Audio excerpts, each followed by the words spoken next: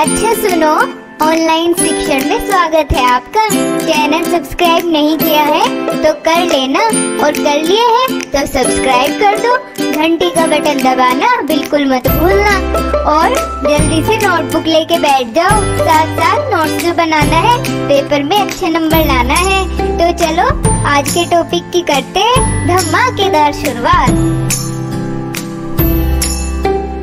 Hey hello guys good morning and welcome back to online शिक्षण। मैं हूँ आपके साथ अंजलि बालियान। सो फ्रेंड्स कल की क्लास में हमने डिस्कस किया था विराम चिन्ह क्या होते हैं, किसने विराम चिन्ह के बारे में बताया और ये कितने होते हैं, विराम चिन्ह का अर्थ क्या होता है और शुरुआती के इस लिस्ट में आप देख सकते हैं, शुरुआत के जो सात विराम चिन्ह हैं, इनके बारे में हम पढ़ चुके हैं। आज आठवें के बारे में बात करेंगे और बाकी बच्चे सब एक्सप्लेन करेंगे। ठीक है दोस्तों तो वीडियो को लास्ट तक देखिएगा।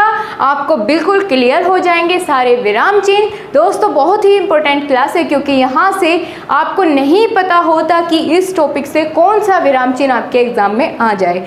तो इससे, इसके लिए ज़रूरी है कि आप पूरी क्लास को बहुत ध्यान से देखें। तो अगला विराम चिन्ह है निर्देशक चिन्ह। आज हम इसके बारे में बात करेंगे किसके? निर्देशक चिन्ह के। ठीक है दोस्तों?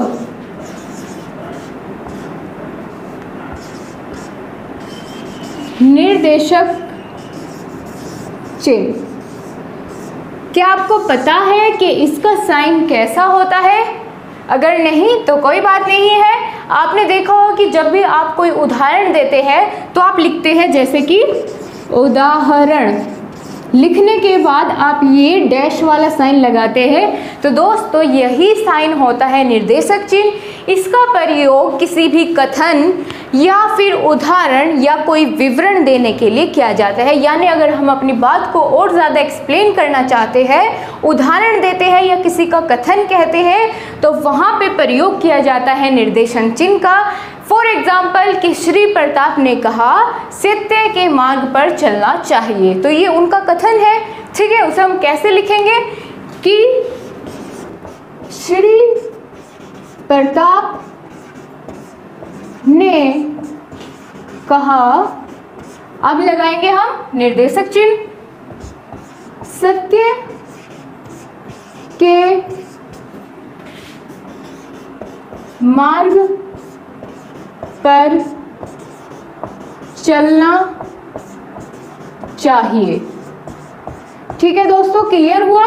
कहाँ कहाँ हमने इस आप पूरे बोर्ड पर बताइए कि कहाँ कहाँ हमने निर्देशक चिन्ह का प्रयोग किया है। तो दोस्तों, एक तो हमने यहीं पे किया है, जहाँ हमने उदाहरण लिखा है और उसके बाद में यहाँ की हम श्री प्रताप का कथन कह रहे हैं कि उन्होंने कहा है कि सत्य के मार्ग पर चलना चाहिए। क्लियर है आपको? चलिए, अब अगला अगला चिन्ह आ जाता है, जिसका नाम है, अब हम इसके बारे में बात करेंगे चिन्ह के बारे में। ठीक है दोस्तों? कोष्ठक चिन्ह, जिसे आप ब्रैकेट भी कहते हैं। ठीक है दोस्तों? तो इसका साइन कैसा होता है? दोस्तों, ये कई प्रकार के कोष्ठक होते हैं, यानी कई तरह की ब्रैकेट्स होती है। पहली ये हो जाती है, ठीक है ना? फिर इस प्रकार की भी होती है और इस तरह से भी होती है। तो ये होती है कोष्टक चिन्ह, ठीक है? और कोष्टक चिन्ह का प्रयोग वाक्य के मध्य में आए कठिन शब्दों के अर्थ अथवा नाटक आदि में निर्देश देने के लिए किया जाता है। ठीक है दोस्तों? कि यदि कोई कठिन शब्द आ जाता है और हमें उसका वहीं पे अर्थ स्पष्ट करना होता है तो हम क्या करते हैं? उसे कोष्ठक में बंद करके उसका अर्थ वहाँ पर दर्शा देते हैं। ठीक है? जैसे हम इसका एग्ज़ाम्पल देखते हैं कि मनुष्य स्वभावत एग्ज़ाम्पल क्या है? मनुष्य स्वभावतः क्या होता है? जिज्ञासु होता है। ठीक है ना? जिज्ञासु जिज्ञासु होता है। जिज्ञासु किसे कहते हैं? अब हमें इसका अर्थ स्पष्ट करना है तो जिसे जानने की इच्छा रखने वाला, ठीक है? उसे कहते हैं जिज्ञासु। जानने की इच्छा रखने वाला। ठीक है दोस्तों? ये इसलिए हमने यहाँ पे चिन्ह का प्रयोग किया क्योंकि हमें यहाँ पे जिज्ञासु का अर्थ स्पष्ट करना था। ठीक है तो वाक्य को पूरा करते हैं कि मनुष्य स्वभावतः जिज्ञासु होता है। समझ आया आपको अच्छे से? ठीक है तो चलिए अब बात करते हैं अगले विराम चिन्ह के बारे में। ठीक है दोस्तों तो चलिए अगला विराम चिन्ह देखते हैं जिसका नाम है त्रुटि बोधक चिन्ह। ठीक है?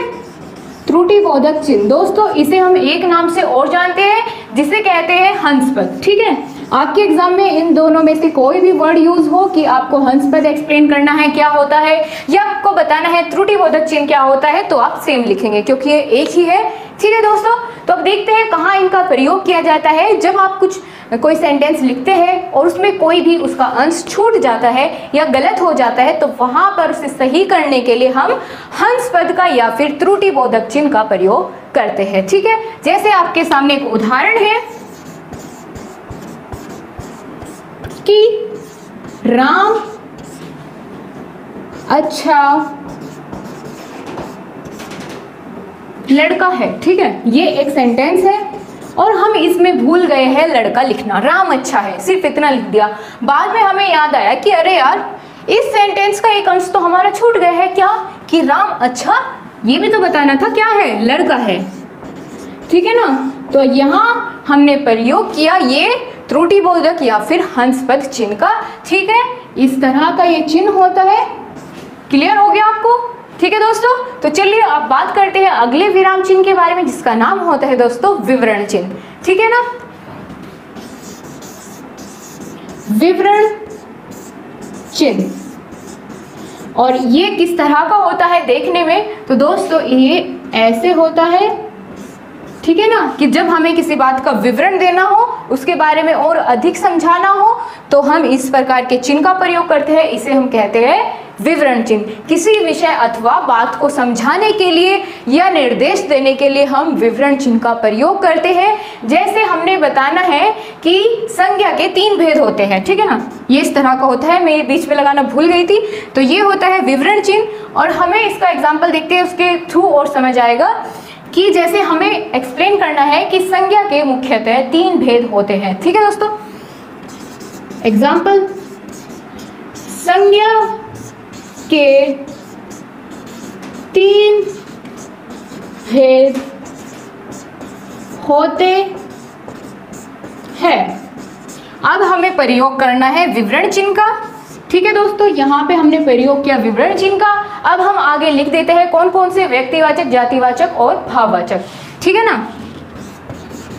व्यक्ति वाचक भाववाचक और जातिवाचक। ठीक है? तो ये वाक्य पूरा हो गया, यहाँ पे लगा दिया हमने। सबसे पहले वाला विराम जो हमने पढ़ा था, पूर्ण विराम क्लियर हो गया आपको विवरण चिन्ह का प्रयोग हम तब करते हैं जब हमें किसी भी बात को पूरा समझाना हो या फिर कोई निर्देश देना हो तो हम प्रयोग करते हैं विवरण चिन्ह का यानी ऊपर नीचे बिंदु और बीच में ऐसा डैश वाला चिन्ह। ये होता है दोस्तों विवरण चिन्ह, ठीक है ना? और जैसे हमने एग्ज़ाम्पल के थ्रू समझे कि संज्ञा के तीन भेद होते हैं, उसे समझाने के लिए हमने प्रयोग किया विवरण चिन्ह का, फिर हमने बताया भाववाचक व्यक्तिवाचक और जातिवाचक। ठीक है दोस्तों तो चलिए अब अगला देखते हैं। तो दोस्तों, अगला चिन्ह होता है लाघव चिन्ह। इसके बारे में जानेंगे। लाघव चिन्ह, जिसे हम अंग्रेज़ी में क्या कहते हैं? एब्रीवेशन साइन ठीक है दोस्तों, ये दिखने में कैसा होता है? एक शून्य के जैसा, ठीक है, ज़ीरो के जैसा, इस तरह का। तो इसे हम कहते हैं लाघव चिन्ह। इसका प्रयोग कैसे करते हैं उसके बारे में जान लेते हैं कि किसी बड़े शब्द या किसी प्रसिद्ध शब्द को संक्षेप में लिखने के लिए हम क्या करते हैं कि उस शब्द का जो पहला अक्षर होता है, उसे लिखने के बाद, उसके बाद में शून्य के जैसा चिन्ह लगा देते हैं तो उसे ही हम लाघव चिन्ह कहते हैं। जैसे इसका उदाहरण देखते हैं। हमें लिखना है डॉक्टर। ठीक है दोस्तों? तो डॉक्टर के लिए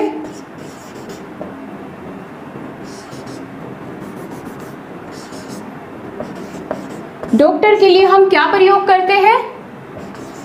पहला शब्द तो एज इट इज़ लिखा, उसके बाद में लगा दिया हमने ये लाघव चिन्ह ठीक है? अगर पंडित लिखना है तो हम कैसे लिखते हैं? पंडित मान लिया लिखना है उत्तर प्रदेश, बड़ा शब्द है, प्रसिद्ध शब्द है तो हम किस तरीके से लिख देते हैं उसको शॉर्ट में? उत्तर प्रदेश, ठीक है दोस्तों? तो इस तरीके से प्रयोग किया जाता है। लाघव चिन्ह का। तो दोस्तों, हम अपनी पूरी क्लास कंप्लीट कर चुके हैं। जितने भी विराम चिन्ह आपके एग्ज़ाम के पॉइंट ऑफ़ व्यू से इंपॉर्टेंट थे, उन सभी के बारे हमने डिटेल में जान लिया है। विद एग्जाम्पल्स तो आप एग्ज़ाम में बिल्कुल इसी तरह से एग्ज़ाम्पल के साथ लिख के आएँगे। आपके नंबर कहीं नहीं कटेंगे। और इससे पहले अगर वीडियो आपसे मिस हो गई है तो आपको आई बटन में प्लेलिस्ट मिल जाएगी, वहाँ पर आपको वीडियो मिल जाएगी इसका पहला पार्ट ठीक है दोस्तों तो आपको वीडियो कैसी लगी कमेंट बॉक्स में ज़रूर बताइए। और अगर नए हैं चैनल पर तो सब्सक्राइब करिए लाइक करिए और अपने दोस्तों के साथ शेयर करिए। नमस्ते। दोस्तों, अगर कोई भी पॉइंट आपको समझ नहीं आया तो कमेंट बॉक्स में कमेंट करिएगा। मैं नेक्स्ट वीडियो में उसको फिर से एक्सप्लेन करूँगी। और अगर वीडियो अच्छी लगी है तो लाइक करें। आप चैनल पर नए हो तो सब्सक्राइब कर बेल आइकन को प्रेस करना बिल्कुल ना भूलें। अपने दोस्तों के साथ शेयर करें। थैंक